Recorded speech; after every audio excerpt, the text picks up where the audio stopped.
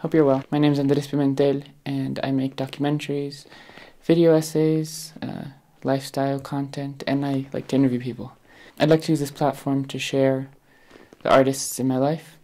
So today I have the first in a mini series on authors. Today I'm interviewing Gabriela Lavarello. Is has her book published of Liars and Thieves, book one in the Ramayana Chronicles. I hope that's how you say it. Sorry if you're watching this. I have a conversation with Gabriela about her book and some tips, creativity, and I think just hearing her story and how it's been fun and difficult is inspiring. The story is set in a fantastical world called Raymara, and the realm has been in a state of lawful peace for a thousand years since a huge war took over most of the realm. So there's a peace law mandated by the goddesses who created the realm, not seen any violence for 1,000 years until one night, five beasts that have been extinct since the war suddenly appear and kind of just spread across the realm and no one knows what's going on. So, five companions are brought together and they are sent on a quest to recover the beasts and save the world before anything bad happens. But little do they know, they are part of a big prophecy, sends everyone into a bit of of a tizzy. So, yeah. That's a good word. Thank you. Um,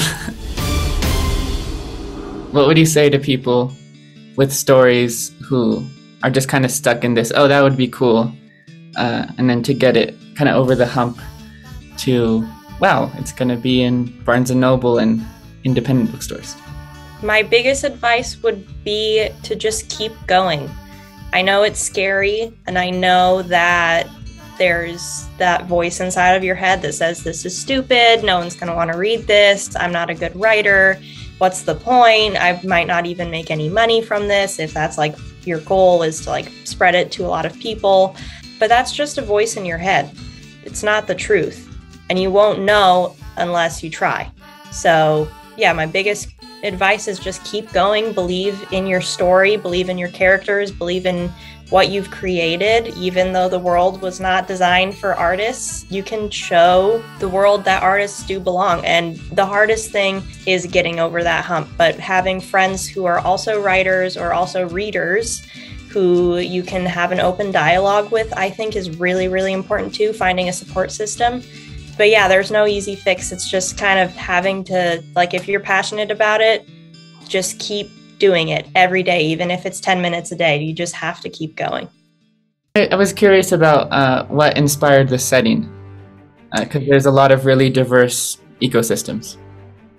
I really liked, obviously, one of my favorite stories of all time is Lord of the Rings. So I always really loved like Fangorn Forest, the huge trees and like the old moss and all of that stuff. So I really liked like huge forested uh, settings, but I also really liked like sprawling mountains and growing up in a place where there was a lot of diverse landscapes, I guess you'd say, from a desert to like pretty wet, like green climate.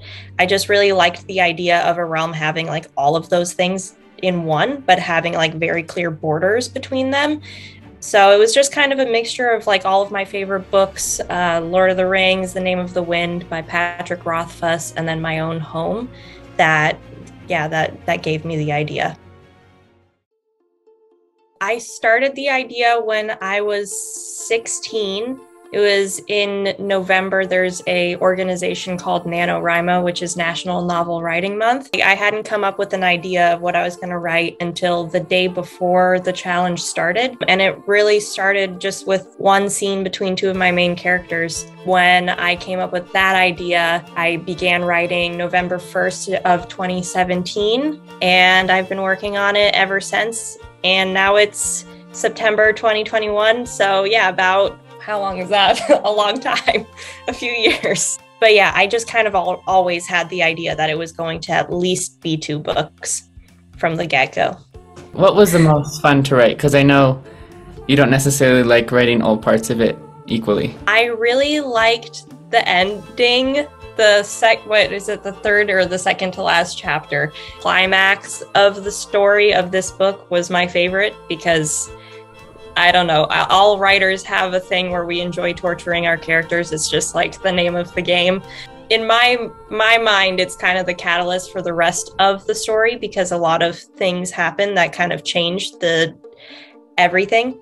So that was a lot of fun to write. And then I also just liked the build up and writing the dynamics of the love stories as well. So yeah, I would say like the last chunk of the book, which as you said also is your favorite part of the book, so maybe that shows.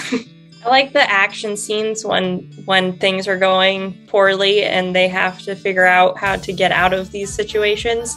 I just like writing the high stress action situations because it's harder for me to go through the slower parts. It's just more fun to write faster paced, or descriptions are also really fun for me to write. Uh, well, the hardest part of writing the book was definitely the beginning of figuring out how I was going to get these five random characters who have nothing to do with each other into the same place at the same time. And I guess that also shows uh, the beginning was definitely the trickiest part, but it's always the trickiest part for any book that I've ever written. And the process as a whole, honestly, just figuring out how to do everything myself because I am self publishing. So you have to do everything by yourself. And so learning about marketing and just making the book an actual book and editors and all of that just the organizational part was was definitely really hard. Next book will be coming next year. That's the that's the plan. Thank you for having me. This is really cool. I'm getting used to being interviewed. I this is my second interview for this book. And so it's just really cool to have this opportunity to talk about it and it just kind of feels like a like the real deal. So, yeah, thank you for reading it also. Oh yeah, of course. I wish I had a copy to hold. Do you have one handy? I have one right here. It's right here. Yay! Okay, there it is. You're the first. I have three authors I'm going to interview, so thank you for being the first. Of course. And, uh, yeah, good luck with writing, and you've definitely inspired me to finish something. Um, Please do. And, uh, I'm excited to read it. going to be happy to see everyone else read it, and thank you for choosing me to read it sooner. It was a lot of fun. Thanks so much for watching. Hope you enjoyed. You can buy the book linked below and uh, check out her YouTube channel and Instagram. If you enjoyed this conversation on art, you might enjoy this other video, other videos on uh, being an artist. Don't forget to like, comment, subscribe. I've noticed like half the people who watch this aren't subscribed, and it'd mean a lot if you did. I have another video coming up, so I'll see you soon. Bye bye.